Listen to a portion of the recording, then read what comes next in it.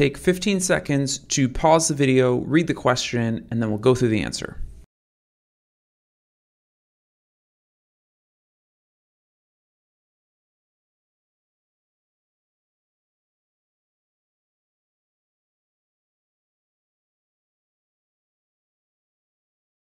Okay, we have a 17 year old female who's presenting to an urgent care clinic for a progressively worsening rash. She states that she recently began using a new detergent. Her past medical history is significant for asthma, allergic rhinitis, and several food allergies. Her physical exam reveals diffuse erythematous patches surrounded by excoriations, as well as small vesicles along the popliteal fossa, antecubital fossa, and the wrist bilaterally. So now that's kind of a mouthful. Let's kind of break this down a little bit. So at this point in the question, we have a lot of information that's really kind of pushing us in one direction. And I know we haven't really gone through a lot of the different disease processes processes yet, but one of the things we have to consider here, and we're going to talk about this more kind of as we move through this unit, is atopic dermatitis. Now, the classic thing you'll see with atopic dermatitis is usually a lot of these kind of allergen mediated type processes. So, one of them, for example, would be allergic rhinitis which is very classic.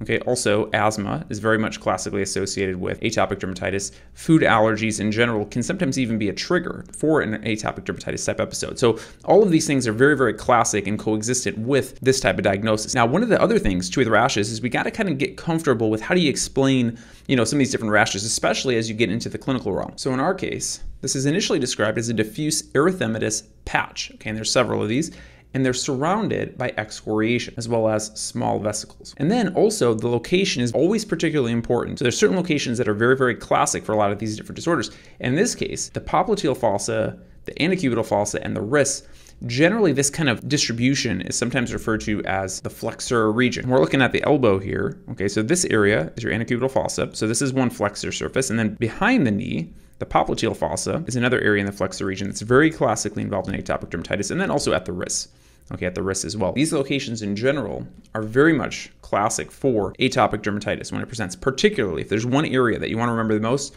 it's usually the antecubital fossa. So if we were to do some, you know, cross section of the skin kind of in this region, okay, so this is just some cross section of skin here. Okay, maybe this is the area, you know, right around the antecubital fossa, for example, and this might be kind of the surface of the skin up here. Okay, so we have these diffuse erythematous patches, okay, on the skin. So these diffuse erythematous patches, maybe there's a couple of them here. And the term patches is also relevant, right? So remember, you know, when you're talking about a macule and a patch, these two are going to differ in one domain particularly, in that macules will tend to be less than or equal to one centimeter, and patches will tend to be greater than one centimeter. The key feature that both of these share is they're both flat. If you rub your hand over the skin in that region, you're probably not going to feel a raised area, is basically what we're saying. Now that would be different than a papule, which tends to be raised, okay? or a nodule, which also tends to be raised. And then another term you might see are plaques. Okay, and a plaque is also going to be raised. So then what's the difference between a papule and a nodule, right? So a papule is going to be less than or equal to one centimeter, right? Same dimensions here. Nodule is going to be greater than one centimeter. And finally, what's the difference between a nodule and a plaque? Remember, a nodule tends to involve, this tends to involve the dermis. Okay, as we go through this unit, one of the most important things that you have to really kind of laser in on, especially for step one, is not only just understanding some of the basics around the histopathology, but you also need to know where is this pathology taking place. Right? If you push down on a nodule, usually nodules are very firm because a lot of the pathology is happening much deeper, okay, beyond the epidermis. Okay, most of it's probably happening in the dermis or maybe in the subcutaneous tissue. Now, plaques, like nodules, are also greater than one centimeter in size, but they don't tend to be as firm and they could have, you know, different types of more rough contour in general than what you would see with a nodule. But that was a quick review. You know, we talked about a lot of this, you know, in the videos already. So going back to our lesion here, we have diffuse erythematous patches, but the patient also has some excoriations as well. Now, whenever you see this term in a question, this is almost like, think of it like a surrogate for itching or pruritus. Okay, so when you see excoriations, you want to start to think about, well, this is probably an itchy lesion. And the reason for that is the excoriations are present because the patient's scratching. So that's something to keep in mind. So this patient also has, you know, some excoriations, maybe from itching this area, so it's very itchy probably. And these are also accompanied by some small vesicles. Okay, and we'll talk more about vesicular pathology kind of as we get through the unit. Okay, going back to our patient here. So she started using a new detergent. She has a pretty significant history that would push us in the direction probably of an atopic dermatitis, especially because of the location of the rash. Patients also recommended a topical treatment and referred to a dermatologist. A skin biopsy is later performed and shown below. Okay, so we'll get to this in just a second. Immunostaining of the sample reveals poor expression of E. cadherin within the stratum spinosum. Okay, which of the following is most consistent with the patient's underlying dermatologic disease process? When you're looking at pathology, there's some key things you want to look for because most of the time you're going to be tested on different disease processes in derm, and you should know what a lot of the different histopath at least kind of presents as, so to speak, and where the problem is occurring. Again, is it occurring in the epidermis? Is it in the dermis, the hypodermis, subq, you know, in fascia? So those are all the things that you want to kind of be weighing in your mind when you're thinking about this. We can see we have a very clear delineation between the dermis and the epidermis. Okay, so we have a very clear delineation between the dermis and epidermis. So we know that this region here is going to be the dermis. We'll just put a D for dermis. And we know that this region up here is going to be the epidermis. Okay, and these projections that are kind of finger-like projections that are extending up into the epidermis, these are going to be the dermal papilla. Okay, so that's a dermal papilla kind of extending up into the epidermis. And this whole region, okay, this whole region where you have this kind of like looser connective tissue, this is all going to be your papillary dermis. Okay, so remember the dermis is separated into two regions. So the kind of the upper region where you have the dermal papilla and you have the dermal epidermal junction like we just outlined here. This is all going to be in the region of the papillary dermis. Now beneath this that we can't really see really well is a really large section of dermis that's going to be made up of the denser fibers, and that's the reticular dermis.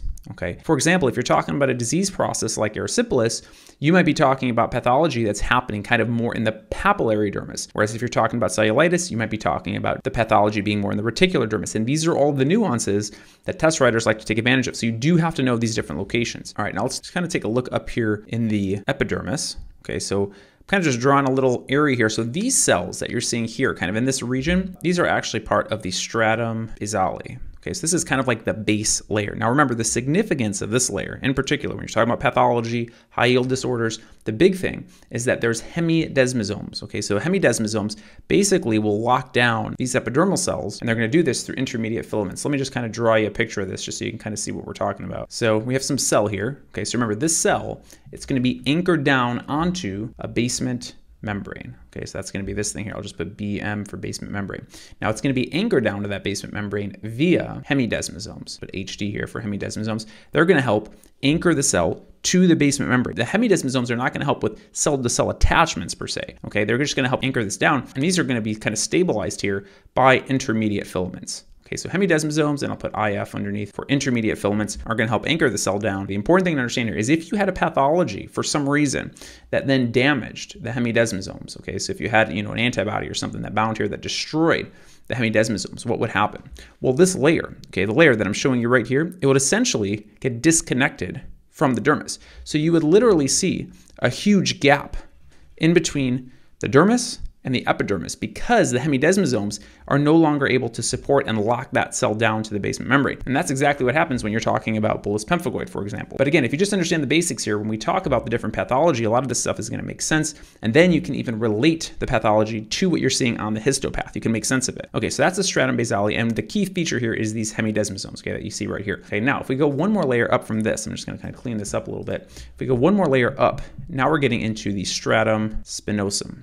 Okay, so the stratum spinosum is going to be several cell layers thick.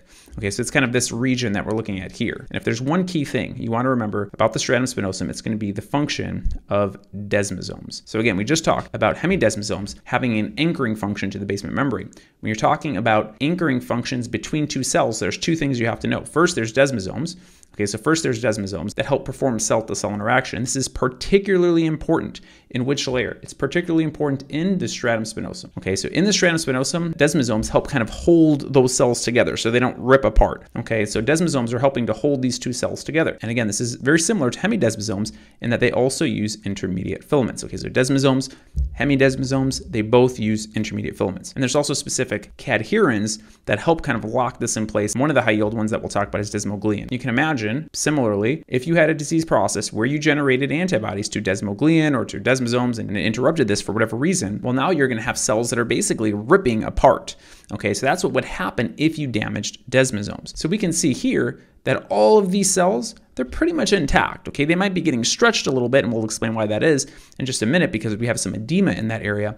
But if you look a little bit further down, you can see that these cells are actually here things are starting to get a little choppy. Some of these cells maybe aren't connected the same way that they were. You know, the point is when you see areas that are just white, okay, that's indicating that there's nothing there pretty much. So if you have a vesicle or if you have areas where there's no cells, particularly in the layer of the stratum spinosum, that might indicate that the desmosomes are probably damaged because those desmosomes were holding a lot of those cells together. We also have another set of junctions here, and that's going to be your zonula adherens, which we talked about a little bit earlier in the chapter. And remember, this uses actin filaments. And then, of course, you have your tight junctions, which don't so much have anchoring functions as they just kind of prevent or can act as a gateway between transfer of substances, you know, between cells. Okay, but the big anchoring functions are primarily going to be through the zonula adherens and the desmosomes. And again, the desmosomes use intermediate filaments, zonula adherens uses actin, and the zonula adherens also has one very, very high yield cadherin, and that's your E cadherins. The Ca in the front is referring to calcium. They're calcium mediated proteins that are kind of connecting things, you know, and holding everything together. But let's go back to the questionnaire and just kind of recap some of what's going on. So we have a patient, okay, we have a 17 year old female. She's coming in with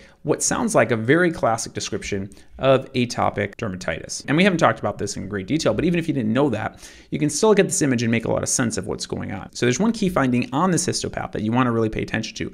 And that's the fact, like I said, that you have kind of these white areas here, even in between some of these cells. If we're looking in between some of these cells, we can see areas of white between these cells here. So this is very classic for intercellular edema. It's essentially like having fluid in between these cells. That's why we're kind of seeing these white lines in between here. Now, if we were to zoom in on really high mag here, what we would actually see, if we zoomed in really closely, is we would actually, in some cases, be able to see the desmosomes between these cells. And the reason for that is because as you add fluid to this area, those cells are starting to receive a little bit of pressure because of all that fluid, and they're starting to kind of get stretched. And the thing that's really holding them together is the desmosomes. And you might be saying, well, hold on a second. You told me that desmoglein and the zonula adherens both held these cells together. So they both should be kind of working at this point with all this edema to hold these cells together. And what you have to be careful here with is remember when they did this immunostaining, they said there's really poor expression of E-cadherin, particularly within the stratum spinosum.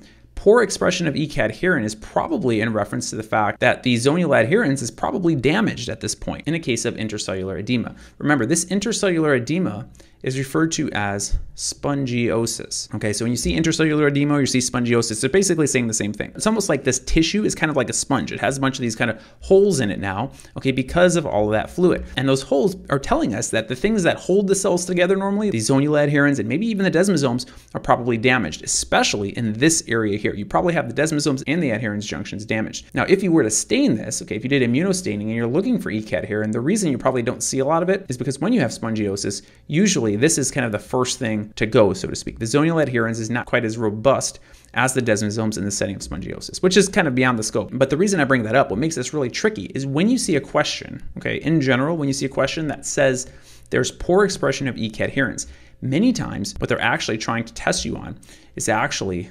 malignancy. Okay, so when you see that there's really low levels of E-cadherin in a question, it could be because cells are kind of getting ripped apart.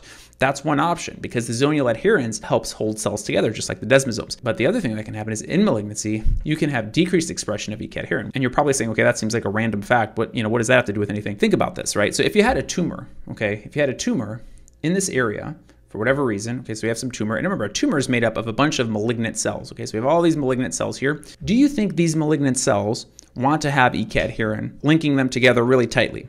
Probably not, right? They're going to continue to try to replicate and eventually, potentially, get into the bloodstream. Okay, that's what these malignant cells are trying to accomplish. Now, to accomplish that most efficiently, if you downregulate E-cadherin expression, what are you doing? You're taking away the zonula adherens junction.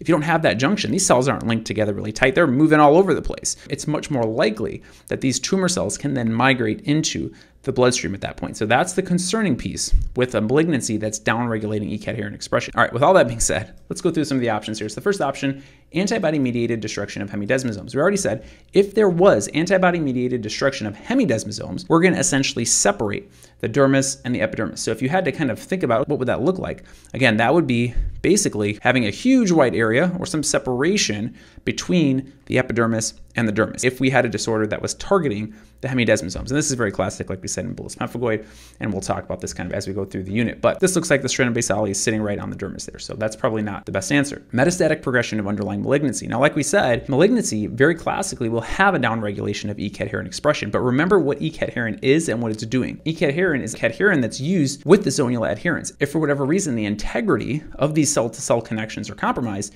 well, E-cadherin might be much lower. And when you have intercellular edema, like we said, one of the first disruptions is going to be in the zonula adherens appearance. So do you have to know all that to get the question right? Well, not necessarily, but if you go back to the stem, right, this 17-year-old female doesn't really have any classic risk factors for malignancy. She just started using a new detergent. She has a very classic presentation for atopic dermatitis. She has a history of food allergies, asthma, allergic rhinitis. This is on the flexor surfaces. It's itchy. You know, it doesn't really strike me as anything that has to do with a metastatic progression of a malignancy. So, you know, we can probably roll that option out. All right, let's jump down to option D here. Antibody-mediated destruction of desmosomes. So this would be in reference most likely to a disorder like pemphigus vulgaris, which we'll talk about. Now, if we were to lose the desmosomes here, we probably have huge gaping areas you know, that are wide open, basically in the epidermis, not between the epidermis and the dermis, but kind of right in the middle of the epidermis, in the stratum spinosum specifically. Why in the stratum spinosum? Because that's the area where we have the majority of the desmosomes. So within the stratum spinosum, we would see huge regions kind of disrupted and just having big white open spaces.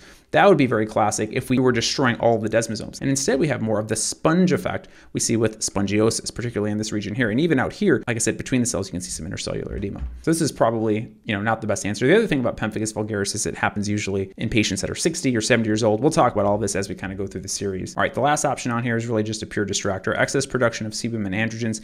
This is largely in reference to acne specifically. We'll talk about acne as we go through this, but we don't really have a hair follicle that we're looking at. We don't have anything specific to acne mentioned in the question. It wouldn't be uncommon in a 17 year old female, but the fact that, you know, she has this progressively worsening rash and it's on the flexor surfaces, she has a history of a lot of IgE mediated pathology. It doesn't sound like a classic case of acne for those reasons. So C is our correct answer, epidermal intercellular edema. And this just goes back to getting comfortable looking at the histopath and just having a general idea of what you're looking at and what part of the skin are we talking about. So in our case, the majority of the pathology is happening here within the epidermis. Now, the last thing I'll leave you with here, just as a bonus item here, we actually kind of talked about this. So as we kind of move up here, we're eventually going to get to the stratum corneum, right? Stratum corneum. And one of the hallmark features of the stratum corneum, it's anucleate, meaning there's no nucleus in this tissue. We lose the nucleus as these cells kind of migrate up. But what's interesting here is you'll see that, you know, you can see a nucleus here, see a nucleus here, nucleus here. So what's going on here? Why does the stratum corneum have nuclei? So we kind of talked about this.